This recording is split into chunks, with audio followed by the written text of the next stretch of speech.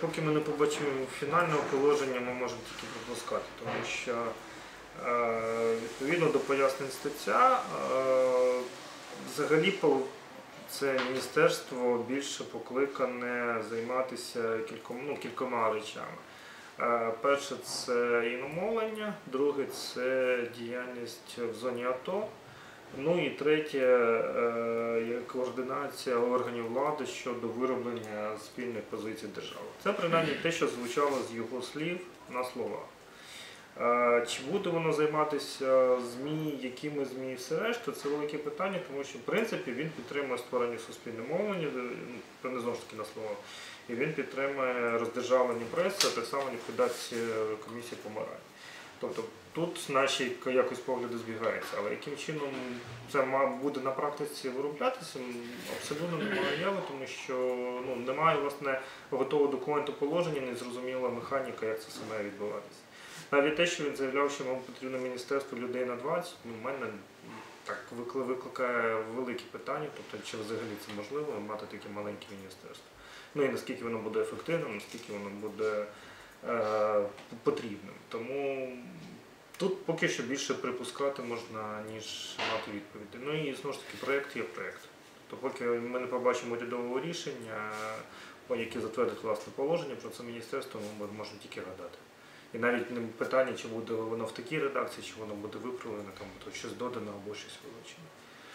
І зараз Міністерство про з інформаційної політики навіть не значиться в списку міністерства на сайті. Так, тому що його немає. Ну тобто, по суті, у нас немає, немає положення про міністерство, немає юридичної особи, тобто у нас є міністр якби без портфеля. Це допускається насправді. Відповідно по закону про Кабмін допускається мати міністрів без портфеля. Ну, нас на зараз десь таким є. Тобто він є міністром не існуючого міністерства ще поки що. В принципі, я знаю, що ну це ще залежить від фінансування, і це залежить власне від проведення всіх необхідних дій для реєстрації е, міністерства як юридичної особи. Наприклад, зараз був щойно зареєстрований інститут національної пам'яті, Український інститут національної пам'яті, який теж є ЦОВВ. Це і от вони тільки-тільки щойно зареєструвалися власне в якості ЦОВВ, тому що до цього вони були е, науково. А зараз вони повертаються в той статус, якому вони створювалися власне у 2006 році, і ну, яким були ліквідовані Януковичем і його командою. Мгм. Тобто, в принципі, ну, аналогічна ситуація саме в юридичному статусі. А які є ще механізми взагалі в Україні, в принципі, впливання на політику і на зміст того, що транслюють канали і інші медіа? Ну насправді е, держава н- має втручатися в е, діяльність ЗМІ тільки е, відповідно ну, якби до принципів, встановлених і Конституцією, і міжнародним законодавством, ну і плюс національним законодавством. Основна е, сфера впливу це, якщо ми говоримо про телебачення, це ліцензування. Тобто держава має дуже ретельно підходити до процесу ліцензування там, де це відбувається на конкурсній основі. Тобто там, де є конкурс, вимоги до конкурсу мають бути досить ретельно пророблені, мають бути враховуватись інтереси різних там. регіонів, соціальних груп, е, е, мовні інтереси і так далі. Тобто, власне, от наскільки якісно виписані умови конкурсу, те ви і отримаєте на виході. Якщо ви маєте дуже абстрактний конкурс, ви маєте дуже абстрактне мовлення. Щодо, скажімо, хейт спічі, тобто мова ворожнечі, всі такі речі, то це вже регулюється кримінальним законодавством. Тобто, якщо є мова ворожнечі, є підстави для порушення, скажімо, кримінальної справи. Але знову ж таки треба довести, що така мова є. Якщо ми говоримо про російські канали, в принципі, питання в тому числі цього стосується, то знову ж таки регулятор має звертатися до суду і в суді доводити, що ці канали, наприклад, поширюють е, ворожнечу. Це і відбувалося. І в суді вже доводити, чому регулятор вважає, що їхнє мовлення має бути припинене на території України. Прецедентів таких е, в Європі достатньо мало, але були. Були прецеденти, коли у Франції заборонили один із арабських каналів, який, власне, дуже, дуже сильно і систематично, методично поширював speech. Але в принципі, от навіть свіжа ситуація, якщо в- країнах Балтії, не пам'ятаю тільки Латвія чи Литва, але там намагалися заборонити РЕН-ТВ, і власне це не вдалося. Тобто місцевий регулятор не зміг довести суду е, необхідність е, заборони, виходячи з того, що був хейт спіч. Тому це один спосіб. Другий спосіб це якщо порушується чиїсь права. Тобто, якщо порушення чиїсь конкретні права, держава має забезпечити справедливе судочинство, щоб ця особа могла піти в суд і захистити свої права. Тобто це от впливи на інформаційну політику. Третє має бути внутрішня, ну це більше внутрішня позиція, дійсно, щоб різні державні органи не говорили в різному бій. Тобто державні органи мають говорити, е, мати якусь ну, синхронізовану, да, якусь координовану позицію щодо певних питань, особливо складних питань і питань, які можуть здійснити дуже сильну там, суспільну реакцію. Тобто такі речі мають координуватися міністерством, і це вже питання більше менеджменту, знову ж таки, ніж е, якоїсь інформаційної політики. Ну і ще одне питання це зовнішні представлення і намовлення. Тут немає однозначної позиції на, на, навіть зараз, навіть серед експертного середовища. Тобто є частина людей, які вважають, що має бути е, це в рамках суспільного, але якщо суспільного, це точно не пропаганда, або це може бути як окремий канал іноземний, тоді тут вже більше держава визначає, що вона хоче поширювати на зону. Ситуація з замовленням поки що є більше дискусійною, тобто є позиції як за, те, за ту концепцію, так і за іншу, але якоїсь згоди поки що не дійшли. Е, Один з таких вирогідних варіантів, що це просто інформування, е, скажімо, російськомовного, в першу чергу, в другу чергу англомовного населення про те, що власне відбувається в Україні. Тобто це не те, що контрпропаганда, тобто пропаганда не в негативному значенні, що ми починаємо теж розказувати про якихось там розп'ятих мальчиків, а саме просто донесення до тієї аудиторії, яка не володіє українською мовою, інформацію доступною неї мовою, тобто ну, та мова, яку вони більше розуміють. Для пост, е, ну, пострадянського просто, звісно, це більше російська мова, хоча деякі країни вже і англійську мову так само можуть сприймати. Там та ж е, Грузія, наприклад, чи Молдова, там молоде покоління більш є англомовним, ніж, скажімо, навіть російськомовним. Оце є більше державна інформаційна політика. Ну і звісно, найбільша насправді інформаційна політика полягає в тому, що робить держава. Тобто, якщо держава бреше своїм громадянам, то яку б ти політику не проводив, це все одно шкода.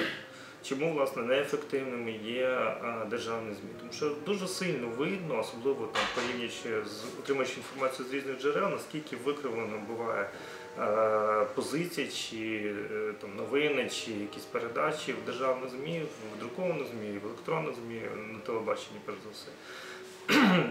Щодо там ну, от виборчий період. Да? Тобто на виборчий період дуже часто джинсують. Джинсують всі, в принципі, і комерційні і державні. Але в державних це навіть більше видно, ніж може навіть в комерційних. От. І власне це ще раз доводить, чому дуже потрібно проводити реформу і з державного телебачення, і проводити реформу друкованої преси. От, власне, ці дії да, вони можуть допомогти. Що повинно бути в реформі? В реформі ну, кожна, кожна сфера е, потребує своїх дій. Да? Тобто, якщо ми говоримо про створення суспільного мовлення, це дуже комплексна річ, тому що вона передбачає вирішення майнових, трудових, е, авторських прав і так далі. І вона має також вирішити питання забезпечення максимальної незалежності і підконтрольності, ну але тим не менше підконтрольності суспільства майбутнього мовника. І власне той законопроект, який сьогодні мають розглядати, він якраз е, дозволяє запустити цей механізм. А якщо ми говоримо про роздержавлення, ну так зване роздержавлення преси, тобто це або і ліквідація, або приватизація, продаж, які різні моделі, яким чином це можна зробити, або перетворення просто на бюлетені. Власне, тут простіше. Тут просто треба взяти кожний конкретний ЗМІ, запропонувати їм чотири варіанти. Якщо трудовий колектив готовий випускати як комерційне ЗМІ, тоді їм просто це передається на певних умовах. Далі це вже комерційне ЗМІ, і влада на це не витрачає гроші. Якщо немає охочих, варіант перетворення на бюлетені, просто видача актів е, цього органу для місцевого населення, що теж може бути достатньо корисно. Тим паче, що ну, поширеність інтернету, особливо там серед старшої вікової групи, є достатньо слабкою, то очевидно, що їм все ж таки треба папір. Молодим достатньо, напевно, було б мати- хороший сайт там, міської чи е, якоїсь районної ради, куди можна було б зайти і отримати всю інформацію. В Польщі, наприклад, у них немає друкованих ЗМІ, у них є так званий БІП, бюлетень інформації публічної. На кожному сайті під однаковим логотипом там власне є всі нове, новини, новини, тобто власне все, що ухвалено тим чи іншим органом там за певний період. Такий варіант, я думаю, що у нас так само працюватиме в майбутньому. От. Е, Також, окрім цього, треба ще е, позбутися зайвих органів. І власне питання Мінстаття є дуже е, дискусійним в плані того, що а чи потрібен він, якщо потрібен, то на який строк, ну очевидно, що в принципі те, що він може зараз з'явити, з'явитися, він може виправдати власне своє існування тільки з ситуації, яка склалася на сході і в Криму. А так ми прагнемо власне зменшити кількість регуляторів, тобто має бути нацрада щодо телебачення, тому що тут є розпорядження національним багатством частотами. А щодо решти питань має все ж таки з'явитися саморегулювання, можливо, співрегулювання. Тут треба шукати модель, яка прийнятна для України. Думаю, що співрегулювання буде, але трошки пізніше. Тобто, коли держава і середовище самі визначають, ну спільно власне визначають певні правила, спільно визначають органи, які встановлюють ці правила, які контролюють за їх виконанням. А, і треба ліквідувати такі анахронізми, як НЕК, тому що це абсолютно є не ну, такі органи там в десь в Білорусі, в Китаї, в Росії, ну точно не в демократичних країнах, тому що ну, починає, починаємо з базового питань, що таке суспільна мораль, да, яким хто визначає, хто ці люди, чому ці люди призначаються кабміном, а не обираються і так далі. Тобто тут навіть суто по формальному знаку є ж маса, маса питань. Ну і, і чи етично, і чи морально витрачати е, близько 4 мільйонів гривень на орган, який видає абсолютно безглузді рішення. А, і створює, по-моєму, тільки зайві конфлікти. Згадати ту ж історію з е, книжкою Жінка його мріє. Тобто, в принципі, вже досвід Великобританії свого часу показав, що якщо ти починаєш скандал навколо книжки, ти збільшуєш її продаж. Ти, по суті, держава робить за наш рахунок рекламу певного видання, причому не факт, що вона якісна. Тому такий орган має бути ліквідований. І я сподіваюся, що це все ж таки станеться. Так само є питання по Держконтролраді, хоч тут є питання конституційне, тому що цей орган виник внаслідок власне помилки в конституційному ніч 96 року. Тобто його внесли з голосу у другому читанні. Відповідно, в принципі, так само це було е, як це да? тобто непорозуміння між Нацрадою, Національною радою з питань телебачення радіомови, Державний комітет, депутати просто не розібралися. Це видно зі стенограми, можна взяти стенограму Конституційної ночі, власне там все. Чітко видно, як це, як це відбулося, яким чином цей Держконтролрадіо з'явився взагалі в е, Конституції. І враховуючи, що він конституційний орган, його не можна власне, ліквідувати, поки не прибрати цю норму з Конституції. А Тобто хто, хто вніс?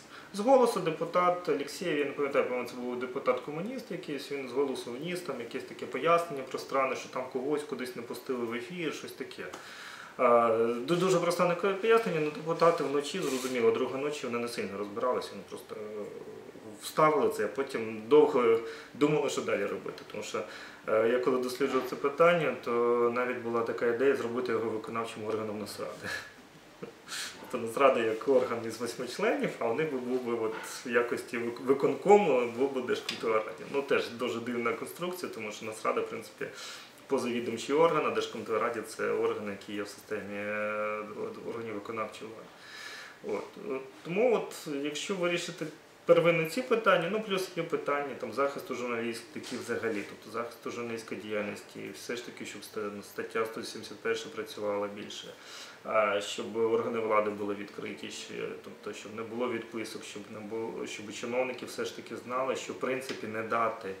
Е, Там утікати від ЗМІ, да, е, особливо регулярно це робити, то це чорний квиток, що цей чиновник може поплатитися там своїм місцем, чи, е, чи мати якісь ну, додатковий тиск з боку суспільства. От такі механізми вони працюють ефективніше, ніж всякі міністерства і все решта. І дуже важливо, щоб в Україні це теж запрацювало насправді. А чи були в Україні прецеденти, коли когось за ухиляння від зустрічі з пресою Ну. Я так сходу не скажу, але були прецеденти, коли все ж таки ну, резонанс в медіа впливав на певну ситуацію. Таких прецедентів достатньо багато. А, але от саме, що ухиляння від коментарів, да, тут ще слабо, тобто треба над цим працювати. Ну і власне це завдання медіа. Тобто медіа має зробити все можливе, щоб е, е, такі механізми запрацювали. Тобто медіа мають почати просто аналізувати, чому він уникає, да, що це за чиновник. Вони мають показати суспільству, що ця людина не гідна працювати і виконувати делеговані суспільством повноваження. Тобто має бути настільки створений сильний тиск, щоб ця людина мала піти, наприклад, сама. Ну, це як най, найтакий гуманніший спосіб, вона просто подає там заяву про відставку, наприклад. А як із державними цілими державними установами, які ну там не видають запити на інформацію або не погоджуються на коментар? Ну, Ну, дивіться, коментар це не доступ до інформації. Коментар це більше закон про інформацію регулює. Да, ну з, цим є ще проблеми. Ну, власне, як і з доступом. Да? От сьогодні якраз четверта річниця ухвалення закону про доступ. А, і ми бачимо, що є достатньо суттєві серйозні зрушення, особливо коли був ухвалений закон 1170, ну, відомо як 0947 законопроект. Е, Дійсно, зрушення є. Є навіть зрушення в суддівському в судах, тобто ми вже мали тренінги з суддями, і ну, принаймні ми бачимо, що є контакт, є дискусія, да, є складні питання, де важко переломити, тому що це ну, певною мірою ментально, напевно, навіть треба ламати людей. Але є люди, які абсолютно чітко розуміють, як цей закон працює, і власне, судді розуміють, як це працює, яка інформація має бути доступна, чому це суспільно важлива інформація. Тобто ми бачимо, що ну, не все так погано, як здається. Хоча, звісно, на найменшому, на місцевому рівні, особливо там, якщо це рівень сільських рад, е, рад маленьких містечок, там є оця традиція закритості, і це дуже просто глибока традиція, яка нам дісталася через спадок від радянських часів. І відповідно її подолати теж не так просто. Тобто тут доводиться вже через певний такий тиск через суди, через е, скарги, е, все ж таки отримувати інформацію. Але в принципі достатньо, можна сказати, що вже практика достатньо хороша, тобто запити відповідають регулярно, ну але бувають справи, коли доводиться судитися. Ну, в основному які це теми? Це доступ до генпланів, одна з таких конфліктних тем, друге це розпорядження коштів. Кошти земля. Тобто ці три теми, які дійсно ще є проблемними, тому що, на жаль, це найбільш корупційні теми, насправді. Тобто всі- земельні питання, всі майнові питання, кому скільки якої допомоги наділили, оці речі. Але з іншого боку, от подивіться навіть е, з динаміку по деклараціям. Да? Декларація вже, вже стає хороша навіть політич, в політичному сфері тоном, що декларація має бути оприлюднена на сайті. Це теж робота не одного року, але вона дає результат. Просто ну, не такі швидкі, як ми хотіли. Бо мені, наприклад, фонд гарантування вкладів фізичних осіб ну вже другий тиждень нічого не відписують про інтерв'ю з приводу того, а що стається з тими банками, які виводять, кому йде майно, і які в них санкції шукати гроші, які вивелися. Ну, дивіться, в цьому Які питанні треба я, би- я не можу універсально дати відповідь, тобто треба аналізувати, як ви подавали запит, яка відповідь надана. Тобто це треба це треба вивчати насправді, але е, тут е, питання, що просто треба дослідити цю справу, і якщо це дійсно підпадає під закон про доступ, то очевидно треба домагатися надання такої відповіді. Обов'язку інтерв'ю як такого немає. В законодавстві це не передбачено. Чи правильно передбачати це в законодавстві були такі ідеї, але ну є питання достатньо дискусійне. Тобто, чи кожен чиновник має бути зобов'язаний давати, якщо має, хто має бути зобов'язаний? Ці питання треба обговорювати. Вони не мають якоїсь навіть стабільної позиції навіть серед медійного середовища. Тобто, в принципі, має бути культура, культура політиків, що вони мають розуміти, що зі ЗМІ треба говорити. Тобто, якщо є прохання по інтерв'ю, ти маєш, ну звісно, це не включає там якісь е, газети, які там питають, яке ви білизну носите, да, чи що ви там їсте. Очевидно, жовтий інтерес не захищається. Але принаймні, якщо журналіст хоче поговорити з вами про там плани, ваші плани, да, про те, що ви робите, такі, Такі речі мають бути ну, настільки стабільними, що політик має просто говорити, розуміти, що якщо він не дасть інтерв'ю, то його просто затюкають. Да? Тобто його почнуть просто до нього почнеться посилена увага преси, почнуть з'ясовувати, чому він закритий. Тобто він буде, ну щонайменше йому буде некомфортно, що найбільше це може спричинити дуже сильно таку дискусію у суспільстві. Ці правила у нас їх е, ну, немає, напевно, тому що у нас і журналістика молода, все ж таки ми, якщо порівняємо себе з Заходом, де традиція журналістики вже має там століття, то у нас е, власне вона була перервана через радянський час. Радянська журналістика це все ж таки таке окрема річ. Да, там були теж певні позитиви, але і, звісно, ми розуміємо, яким чином готувалися ці матеріали. От, тому нам треба заново нарощувати традицію. У нас питання навіть авторитетів в журналістиці це теж є дискусійне питання. Тобто це хвороби росту, я би назвав. І ці хвороби просто треба пережити. Ну і треба робити певні дії, щоб е, все ж таки з'явилися і традиції, і якісь норми, і стандарти, щоб та ж жінця вийшла, ну, стала настільки ганебним явищем, щоб. е, Ну, просто щоб це не звучало, да? що якщо виявиться з жінця, то це для журналіста має бути кінець кар'єри. наприклад. То ми маємо досягнути саме таких, е, таких речей.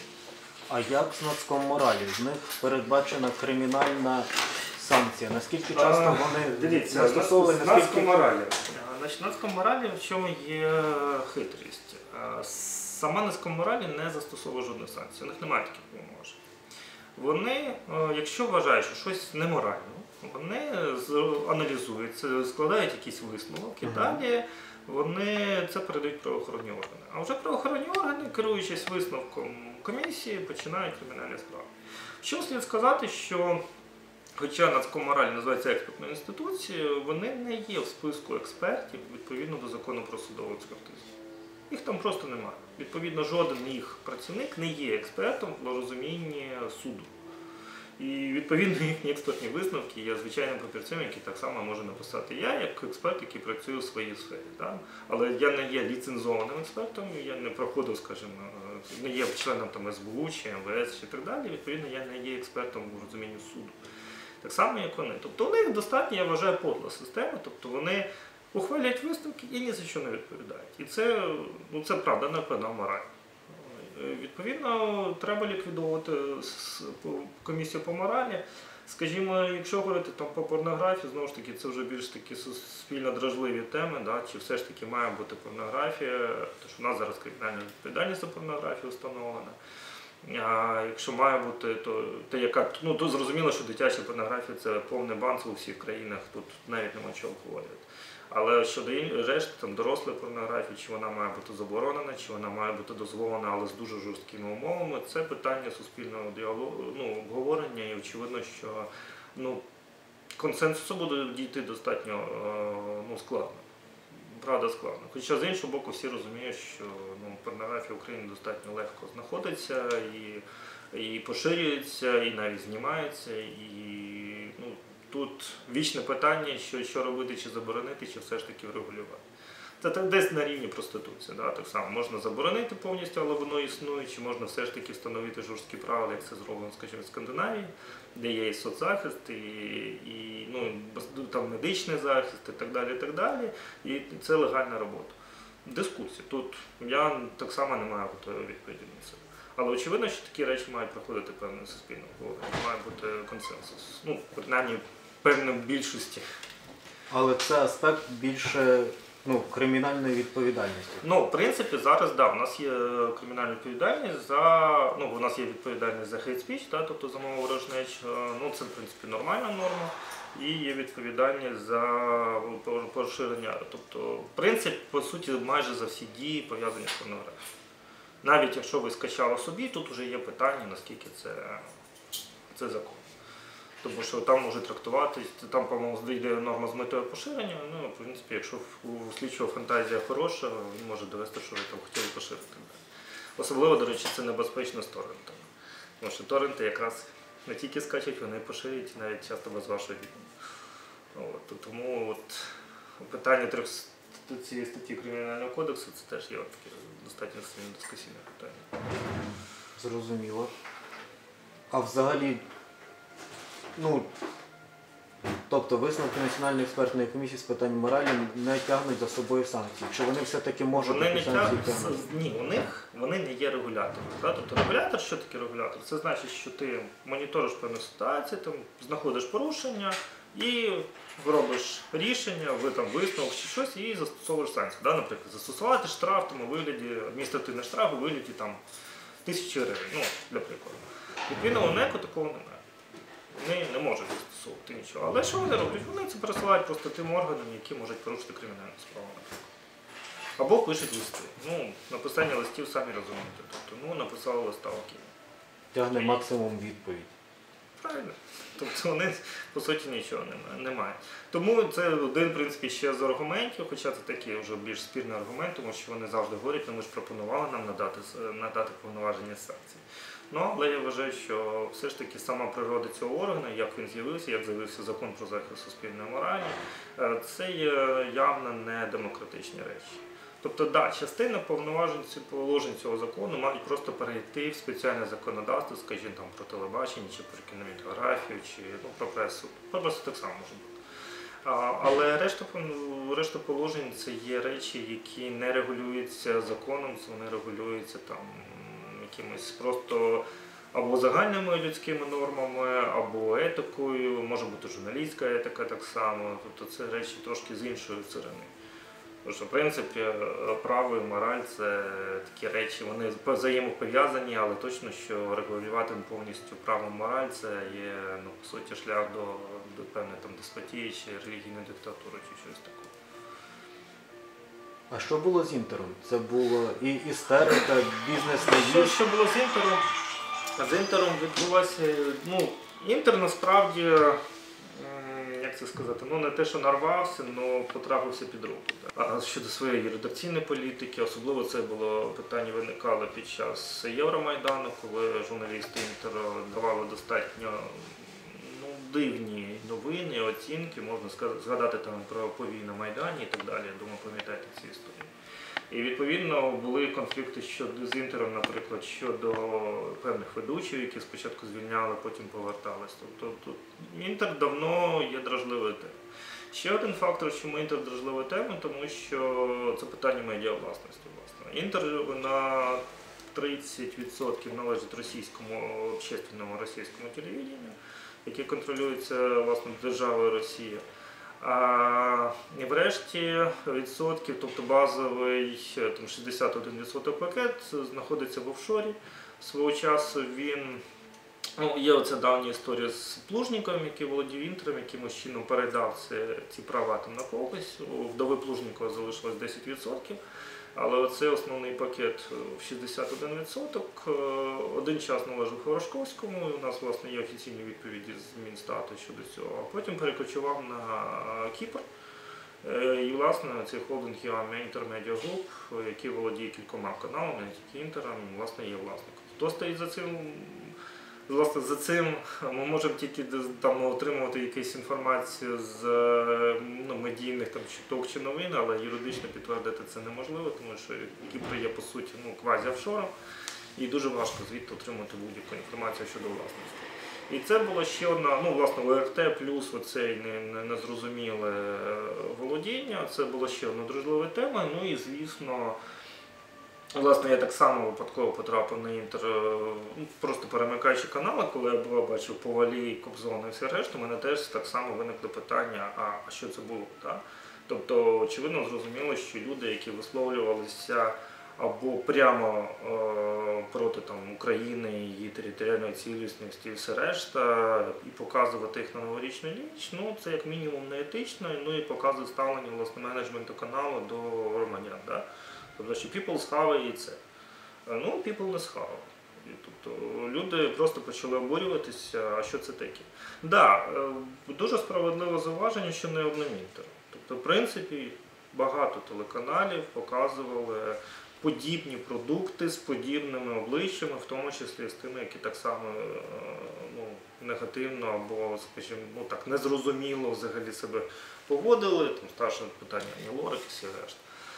Але просто інтер, ну, правда, потрапився під гарячу руку, тобто він став якби тою червоною ганчіркою, яка спровокувала бика. І в принципі це питання має розглядатися якраз післязавтра на Нацраді. Буде цікаво подивитися, яким чином буде це, цей розгляд відбуватися. Але ну, вони, вони, в принципі, самі винуваті з тим, що спричинився такий скандал. Е, Інше цікаво, що як вони відреагували, та? тобто, що вони почали це пояснювати як тиск на незалежну редакційну політику і так далі.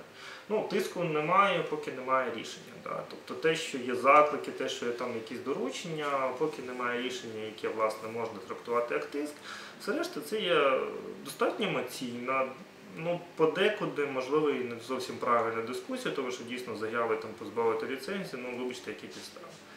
Тобто, щоб позбавити ліцензії, треба мати ті підстави, які зазначені в законі, я таких підстав не бачу. Тобто, єдине, що я бачу, що могло, як би суспільство могло відреагувати, а найперше бізнес, це просто припинити рекламуватися на інтері. І це достатньо вже серйозний крок. Другий крок, якщо є можливо, забороняти, поширювати якісь авторські продукти, ну то знову ж таки розривати угоди, тобто припиняти співпрацю з інтером. І з такими ж ну, власне, з йому подібним, знову ж таки не одним інтером. Тобто канали мають і менеджмент каналів мають зрозуміти, що якщо вони починають гратися в такі ігри, це вдарить по їхнім кишеням, це вдарить по їхньому бізнесу. Якщо буде така реакція, я вважатиму, що це не найправильніше. Сірою зоною, яка залишається, це, звісно, ці кінофільми, ну, російські кі- патріотичні кінофільми, да, всякі мінти, там, кадети, е, оцей контент, який стосується по суті популяризації російських військових, ем, поліцей, ну, поліцейських чи міліціонерів і так далі. Тобто, що робити з цим? Питання дискусійне. Ну, знову ж таки, дискусійне через те, що ми не маємо по суті офіційно оголошеного стану війни. І не маємо якогось спеціального законодавчого регулювання, яке це забороняє. Тому ну, готової відповіді на це немає. Тобто я розумію, що це неправильно. Да? Тобто я з точки зору там, громадянина розумію, що ну, якось дивно в умовах фактичної війни з державою сусідньою транслювати продукт, який прославляє їхніх військових. Це, вибачте, це шизофре- шизофренія.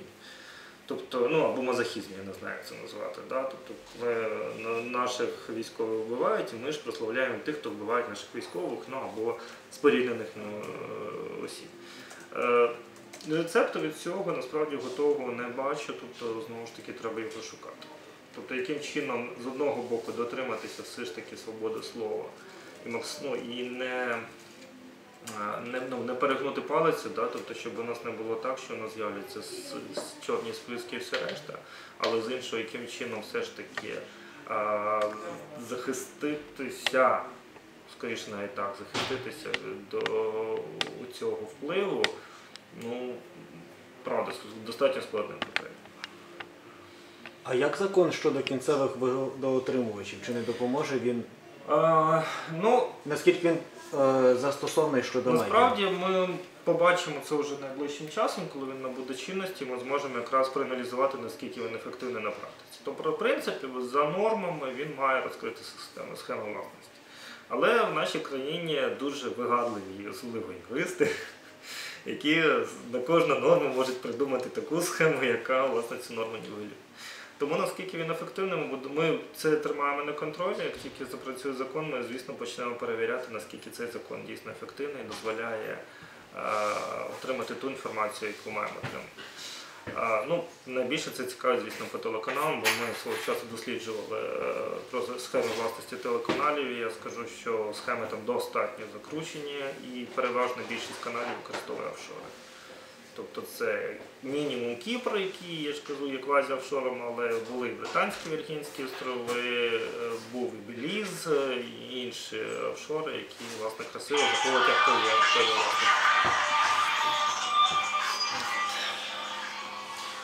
То, ну, виходить, зараз треба почекати Да, по суті, тут ми, ми тільки можемо чекати, тобто поки не запрацює закон, важко, важко е, ну, вгадати наскільки. Я е, не виключаю е, ситуацію, що все ж таки будуть знайдені якісь обхідні способи, і тоді наше завдання буде розробити поправки, законодавчі зміни, власне, для того, щоб ці, ці дірки прибрати. Ну, власне, це одне з наших завдань це слідкувати за тим, щоб все ж таки е, впроваджувалися ті стандарти, які є ну, прийняті принаймні в Європі. І якщо є можливість вплинути на це, є можливість покращувати, звісно, ми на це працюємо. Дякую.